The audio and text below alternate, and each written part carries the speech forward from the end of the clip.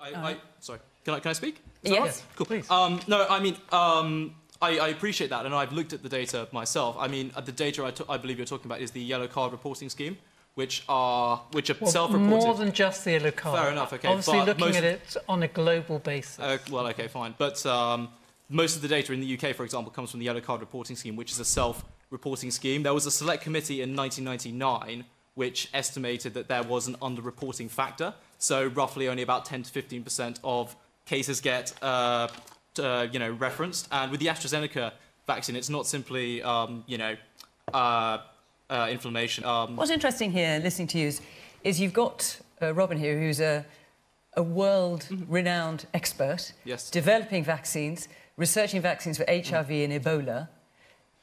He's given you information he's given you. You're going through your notes, finding all sorts of other things. Mm -hmm. Is nothing he says credible to you? Well, given how okay. what an eminent scientist he is. No, sure, sure, sure. No, of course it is. Um, I studied philosophy at university, and I learned that an appeal to an authority is not an okay. automatic win of an argument. And if we want to appeal to authority, for example, we could talk about someone, say, Robert, Dr. Robert Malone, who is the man who invented the vaccine, who suggests that people, young people, for example, no, he's, don't take he's, he's, I don't think he is the man who invented the vaccine. He was, Robin, he was critical in inventing mRNA vaccines. Let's let Robin answer that, and then I'll come to uh, some other people in the audience. That, that has, it's nonsense. He didn't invent okay. mRNA. You wanted to come back in. Do you mentioned um, natural immunity, right? And you know the way, the approach of the government is that there's only one way to solve this, which is vaccines. Why are we not doing more? Like, for example, I've tried to get an antibody test to see, you know, if I've got any natural immunities and stuff like that.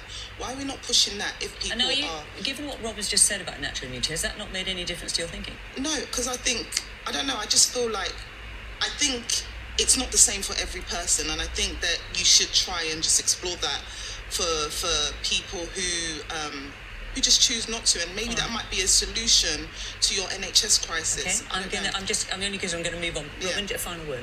I mean, I think that the issue is natural immunity is very variable. You can't, on a mass population basis, go around and measure everybody's antibody levels.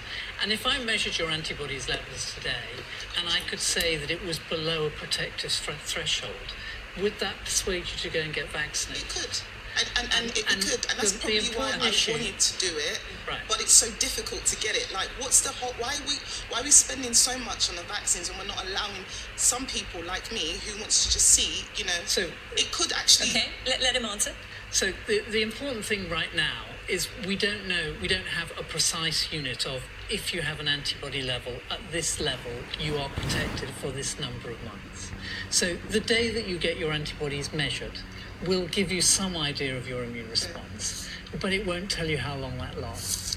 If you get a vaccine, which I can tell you all the evidence shows is completely safe, your risk from the vaccine, the risk from the vaccine um, is so low to you and the benefits are so high that it would boost your immune response and give you the security that those vulnerable members of your family who you've persuaded to get vaccines for very real reasons, you are not going to be passing on that the virus to them. You're going to be better able to protect